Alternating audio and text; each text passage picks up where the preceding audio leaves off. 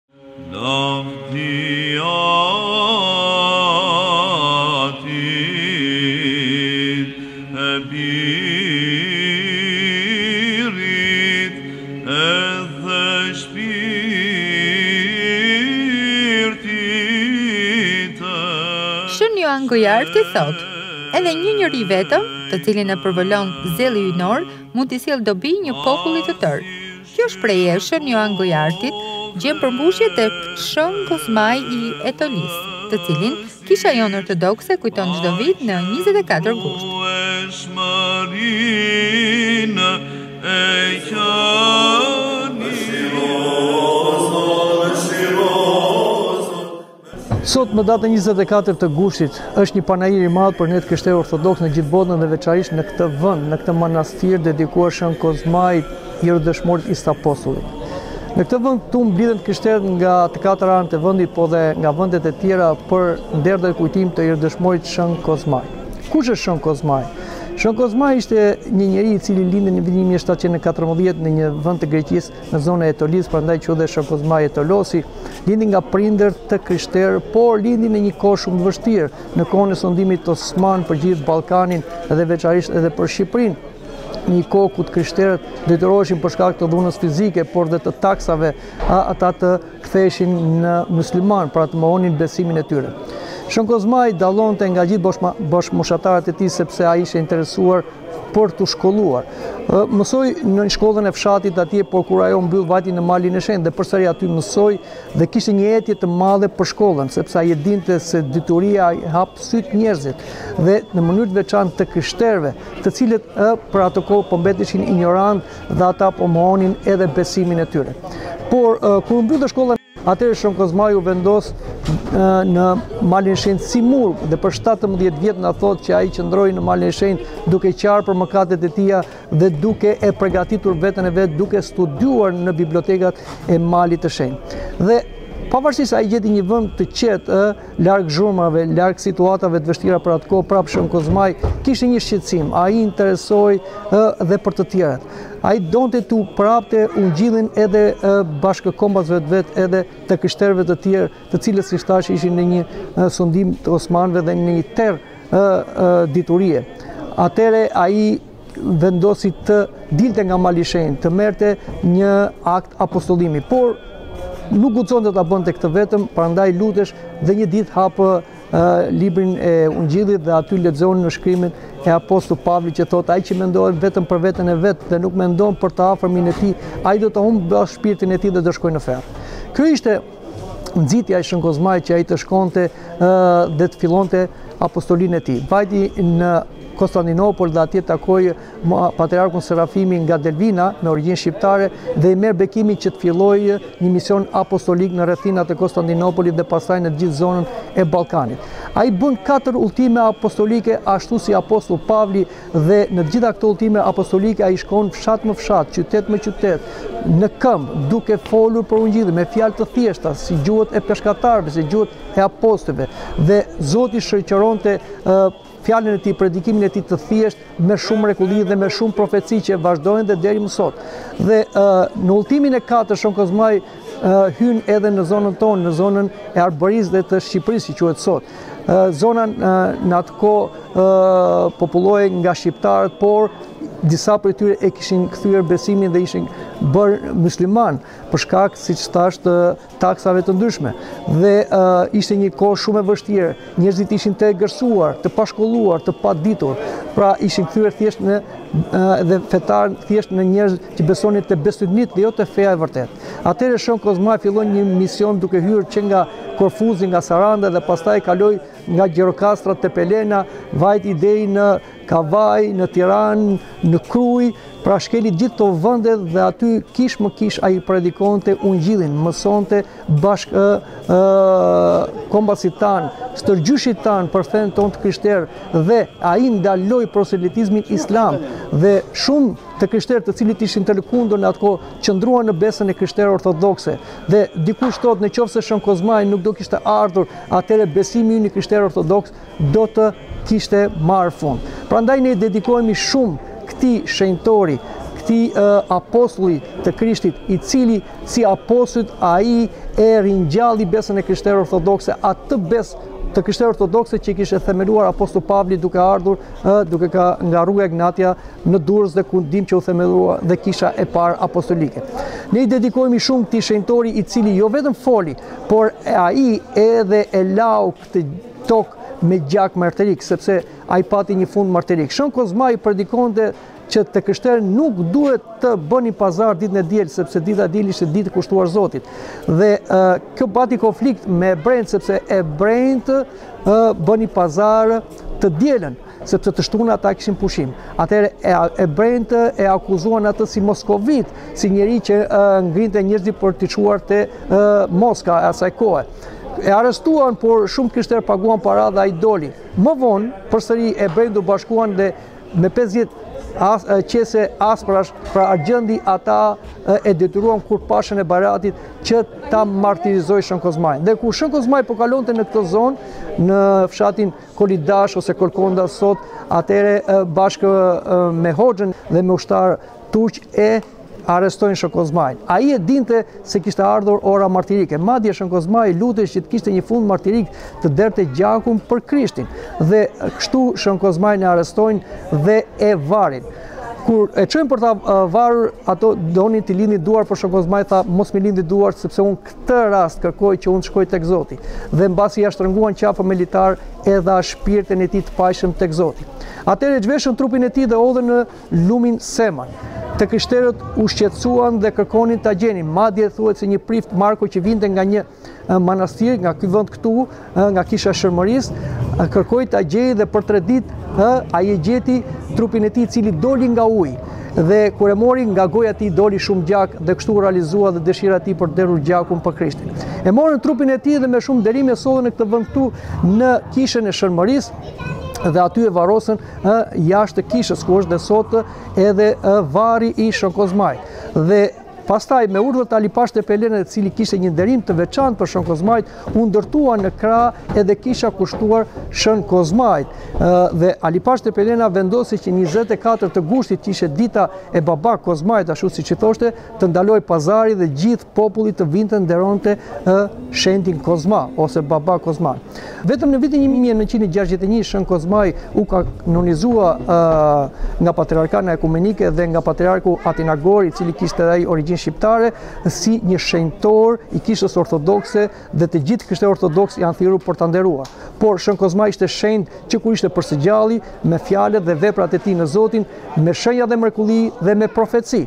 Dhe sot ai nderohet nga të gjithë dhe në mënyrë të veçantë, siç e thashë dhe në fillim, në këtë manastir dedikuar Shën Kozmait, i cili u shkatërrua në vitin 1967, por me bekimin e kryepeshkopit dhe me fondet e mbledhura prej tij, u rindërtua përsëri ky manastir dhe filloi jetën e tij shpirtërore dhe në mënyrë të veçantë në këtë ditë panagjirike në nder dhe kujtim të Shën Kozmait që të gjithë krishterët ortodoks të zonës Ballkanit, por sidomos ne shqiptarët i dedikohemi kaq shumë duke përsëritur dhe ato fjalët e priftit në qoftë se Shën Kozmai nuk do vinte në Shqipëri, atëherë sot nuk do kishim të krishterë ortodoks. Udhëtimin e tij të parë e filloi në moshën dyzet e gjashtë vjeçare, nga viti një mijë e shtatëqind e pesëdhjetë e nëntë deri në një mijë e shtatëqind e gjashtëdhjetë e treshin. Udhëtimin e dytë e fillon nga një mijë e shtatëqind e gjashtëdhjetë e treshi deri në një mijë e shtatëqind e shtatëdhjetë e treshin. Ky udhëtim i dytë ishte plot fruta dhe punë të mira, kjo edhe për shkak të përvojës që kishte fituar nga udhëtimi i parë. Udhëtimi i tij i tretë është historikisht më i përcaktuar. Ka mjaft letra dhe mjaft faqe të shkruara nga njerëz që e kanë parë vetë dhe filloi në vitin një mijë e shtatëqind e shtatëdhjetë e pesë deri në një mijë e shtatëqind e shtatëdhjetë e shtatë. Kjo është koha kur Shën Kozmai filloi misionin e tij të lartë në Shqipëri, ashtu siç e kishte porositur Patriku Sofroni i Dytë nga Delvina, Gjendja në Shqipëri dhe në Epir ishte e rëndë për Kishën dhe Ortodoksinë. Gjatë viteve një mijë e shtatëqind e tridhjetë e pesë, një mijë e shtatëqind e dyzet, pjesa më e madhe e ortodoksëve të rrethit të Beratit kishin kaluar në myslymanizëm. Në rrethin e Delvinës dhe në Çamëri, po kështu në Imar, përveç myslymanizmit ndikonte shumë edhe Propaganda Fide, me misionarë të dërguar nga Vatikani për të bërë prozelitizëm tek ortodoksët vendas. Aravantinos e përshkruan këtë gjendje me këto fjalë të hidhëruar, Në atë kohë të krishterët shqiptarë ishin në gjendje gjysëm të egër nga puna e dobët dhe pakujdesia që tregonin krerët shpirtërorë për edukimin të pakët fetar të kësaj grigje shpirtërore. Ai thotë se lumi i vrullshëm i ndrimit të fesë kërcënonte të mbyste gjithë Epirin. Kleriku Konofan në kronikën e tij të pabotuar pohon se Në krajinat e Imarës dhe Delvinës s'kishte për të mbijetuar asnjë i krishterë, po të mos vinte Kozmai. Udhëtimi i tij i katërt dhe i fundit fillon në vitin një mijë e shtatëqind e shtatëdhjetë e shtatë deri në njëzet e katër gusht të një mijë e shtatëqind e shtatëdhjetë e nëntës, duke kaluar nga Korfuzi në Sarandë. Niset për në Shqipërinë e Mesme dhe nga Tepelena arrin deri në Tiranë dhe deri në Krujë të Skënderbeut. Atë Kozmai zakonisht predikonte në natyrë, sepse dëgjuesit ishin me mijëra dhe kisha nuk i zinin brenda. Në vendin e predikimit ngrinte një kryq të madh prej druri. Në bazën e kryqit vendoste një tribunë të lëvizshme. Hipte në tribunë dhe duke u mbështetur mbi kryq i mësonte turmat e popullit. Ai ishte një predikues profetik. Profetik në kuptimin e ngushtë dhe të gjërë të fjalës. Profetik në kuptimin e ngushtë, sepse tha profecira për të ardhmen e personave, të vendeve dhe të njerëzimit. Më të shumtat e të cilave tashmë u plotësuan, ndërsa disa prej tyre, shumë të tmerrshme, do të ndodhin në të ardhmen. Vërtetimi i disa profecive garanton dhe plotësimin e profecive të tjera.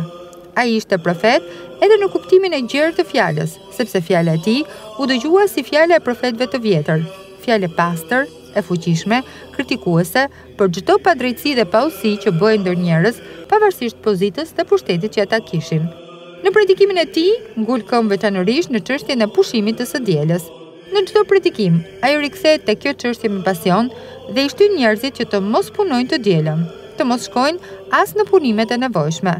Madje, u shpjegonte dhe shkakun duke thënë, Dita e diel është ditë pushimi, ditë gëzimi, ditë preokupacioni shpirtëror.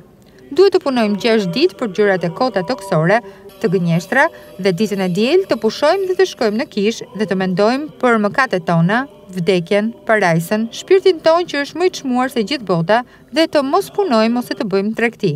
Ai fitim që bëhet të dielën është i mallkuar dhe me këtë fitim vini zjarr dhe mallkim në shtëpitë tuaja dhe jo bekim.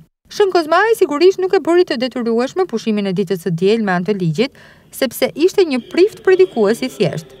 Mjaftonte veç fjala e tij, Këtu si shkoni kristianët e mi? Pyeste, E ruani të dielën, po të jeni të krishterë, ta ruani. Me anën e mësimeve të tij nga njëra anë dhe me anën e mrekullive nga ana tjetër, arriti të imponojë te të krishterët që të mos punojnë të dielën, sepse edhe mjaft mrekullira pasuan mësimin për pushimin e së dielës. Në Xiromeron, një grua, me gjithë mësimin e Shën Kozmait, zuri brumë ditën e dielë. Por, kur nxori bukën nga furra, e gjeti të kuqe, sikur ishte i gatuar me gjak. Frika dhe tmerri e pushtuan atë dhe të tjerët. Vrapoi dhe i ra ndër këmbë mësuesit, i kërkoi falje dhe mori korrigjimin e duhur. Kjo ngjarje bëri kaq shumë përshtypje sa që deri më sot gratë në Etoloakarnania nuk gatuajnë bukë të dielën, sido që të jetë nevoja. Biografi i tij shënon, Në vende të tjera nuk u ruajt respekti i duhur për të dielën, diku plasi kau, diku mushka, dikush tjetër u demonizua dhe tjetri gjeti djalin të vdekur. Predikimi i tij për të mos punuar të dielën ishte dhe shkaku i zemërimit të hebrenjve armiq të Krishtit dhe Shën Kozmait, sepse ata ruanin të shtunën, Sabatin, dhe bënin pazar të dielën. duke detyruar të krishterët të bënin pazar të dielën dhe kështu të thyenin porosinë e Perëndisë. Të dielën pusho nga çdo punë dhe adhuro Zotin në kishë së bashku. Ai i nxiste të krishterët në vepra dashurie konkrete, me fjalë të mrekullueshme, rekomandonte t'i duan fëmijët e varfër më mirë se fëmijët e tyre. Kishte gjetur madje dhe mënyrën për t'i mbrojtur. Përderisa nuk ekzistonin institucione dhe nuk mundej t'i rekomandonte të tilla, Çdo familje dhe çdo të krishterë e ngarkonte me përkujdesje ndaj tyre. Të duash, thoshte fëmijët e varfër më mirë nga të tutë. Nëse do të kërkosh si t'i japësh fëmijës tënde të hajë dhe të pi mirë, të ketë veshje të bukura dhe për atë të varfrin, të zbathurin, të zhveshurin, të përbuzin dhe po të mos të hajë meraku, nesër e shikon fëmijën tënd të vdekur. Merri një fëmijë të varfër dhe bëje birin tënd shpirtëror, të gëzohesh edhe të ngazëllohesh edhe ti edhe ai. Për atë fëmijën që lind gruaja jote, nuk të ka borxh Perëndia, por për atë të varfrin, ke mijëra herë shpërblim për shpirtin tënd nga Perëndia. Ngriti shkolla. Kudo që arrinte kujdesi kryesor, ishte ngritja e shkollave. Me ato, do t'i nxirrte nxënësit nga padituria e tmerrshme, nga barbarizmi, nga pothuaj shtazëria e tyre që mbretëronte atëherë kudo. Prandaj predikonte, Meqenëse nuk e dini o vëllezërit e mi, të ngrini shkolla, sepse gjithmonë në shkolla stërviten njerëzit që të dinë dhe të mësojnë ç'është Perëndia, ç'janë engjëjt e shenjtë, ç'janë demonët, ligësia, ç'është virtyti.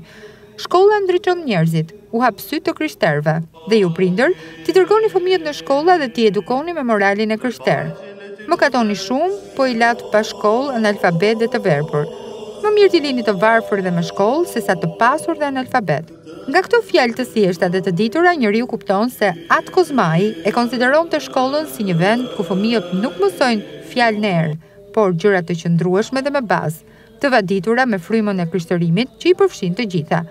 Ai theksonte kudo dhe gjithmonë nevojën e ngritjes së shkollave. Nuk duhet të ketë fshat pa shkollë, thoshte Shën Kozmai. Nëse nuk mund të vini mësues të veçantë, fëmijët tuaj le t'i mësojë prifti i fshatit. Arsimi është stolia e njeriut, dhe vetëm me ndihmën e shkollës do të përmirësoni fatin tuaj. Sa larg shikonte syri profetik i Atë Kozmait. Ngriti të paktën dyqind e pesëdhjetë shkolla, megjithëse të tjerë thonë se ngriti një mijë e dyqind, që ka mundësi të jetë më e saktë, sepse ato të parat i përmend ai vetë duke kaluar në 30 rrethe në udhëtimin e tij të fundit.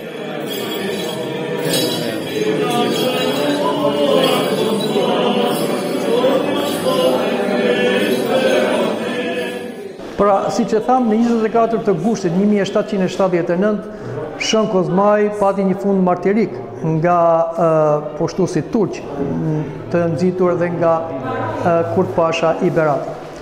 Trupin e tij e gjetën në lumin Seman dhe pastaj e morën dhe e varrosën në pjesën përbri kishës së Shën Mërisë dhe këtu kemi dhe varrin e Shën Kozmait, këtu kanë qenë eshtrat e Shën Kozmait deri në vitin 1967. Pastaj këto eshtra u morën 1967 dhe u vendosën në muzeun e Fierit, sepse siç dimë në një mijë e nëntëqind e gjashtëdhjetë e shtatë urdha urdhri që të gjitha kishat e tempujt të mbylleshin. Dhe atje u ruajtën në atë muze në një arkë të thjeshtë eshtrat ose lipsani i këtij isapostulli të madh. Më vonë ato u morën dhe sot janë pronë e kishës ortodokse. Këtu pra ka qenë varri i Shën Kozmait që sot njerëzit vijnë edhe falen dhe e nderojnë. Kjo kishë që ne shikojmë është ndërtuar në vitin një mijë e tetëqind e Katërmbëdhjetë me urdhër të Ali Pashë Tepelenës, i cili kishte një një simpati të veçantë për Shën Kozmain dhe ai e ndërtoi e ndërtoi këtë kishë kushtuar Shën Kozmait edhe këtë kishëz të vogël ku kemi edhe varrin e tij. Të krishterët falen në lipsanet dhe në varret e shenjtorëve sepse ato përçojnë hirin e Shpirtit Shenjtë. Edhe sot në këtë ditë panairi, të krishterët vijnë dhe falen në varrin e Shën Kozmait me nderim, me falenderim dhe kërkojnë ndihmë për problemet e tyre, për shëndetin e tyre dhe Shën Kozmai nuk vonon t'i ndihmojë, sepse Zoti dhe shenjtorët janë të gjallë që dëgjojnë lutjet e besimtarëve dhe i plotësojnë ato. Ali Pashë Tepelena vrau Kurt Pashën dhe vendosi që ditën e vdekjes së Plakut Kozma, në njëzet e katër gusht, të ndalohej pazari, të jetë panair dhe ai të nderohet si shenjtor në sinaksarin e kishës, por kanonikisht nga Patriarkana Ekumenike u shpall shenjtor në vitin një mijë e nëntëqind e gjashtëdhjetë e një, dëshmia zyrtare e shenjtorimit të Shën Kozmait nga Patriarkana Ekumenike. Kozmai i Etolisë ishte shenjtor i padiskutueshëm me gjithë kuptimin e fjalës, sepse jetoi me të vërtetë një jetë shenjtërimi të martirizuar. U thirr nga Perëndia në një periudhë kritike të ortodoksisë dhe e ndaloi rrymën e islamizmit dhe largimin nga feja. Me të katër udhëtimet e tij, me predikimin e fjalës hyjnore, forcoi ndërgjegjen fetare, ndaloi ligësinë, ktheu shumë njerëz në fenë kristiane dhe krijoi një brez që kërkonte Krishtin.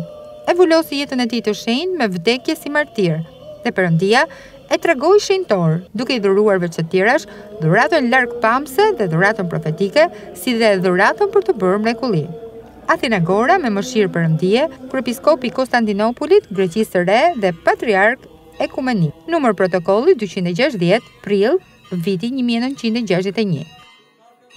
Kjo është kisha e Shën Mërisë, ku ishte e ndërtuar në atë kohë dhe Shën Kozmai predikonte dhe këtu e morën trupin e Shën Kozmait dhe e vendosën me nderim, pastaj e varrosën në bri të kishës ku është edhe varri. Më vonë kjo kishë u prish sepse Shën Kozmai kishte profetizuar që lumi Seman do të vinte afër shtëpisë së tij dhe sot kemi vetëm në funksion kishën kushtuar Shën Kozmait që e ndërtoi Ali Pashë Tepelena që kishte një nderim të veçantë për Shën Kozmain. Madje, ai dhe kokën e Shën Kozmait e mbante si një relike dhe shpeshherë i faleshe dhe thuhet që në një procesion në Janinë, kur u mor dhe koka e Shën Kozmait, një dervish xheloz i tha Aliut, Ali tha, ti je edhe mysliman, tha, si e nderon këtë kaurin, këtë të krishterin.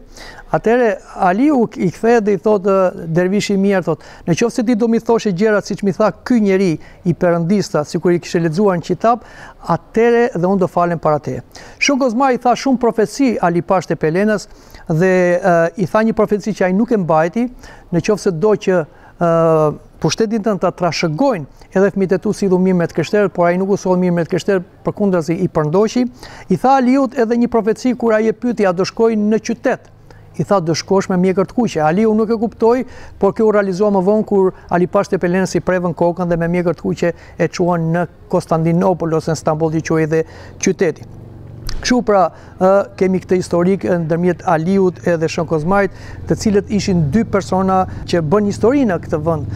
Shën Kozmai ruajti traditën e krishterë ortodokse, kurse Ali Pashë Tepelena nxiti kryengritjen për të krijuar një shtet shqiptar, i cili më vonë do të formohej në një mijë e nëqind e dymbëdhjetë. Por duhet të dimë se Shën Kozmai, duke nxitur besimin e të krishterëve, duke i arsimuar të krishterët dhe largoi frikën e pushtimit osman dhe kontribuoi në mënyrë të veçantë për pavarësinë kombëtare që siç thashë u realizua në vitin një mijë e nëqind e dymbëdhjetë.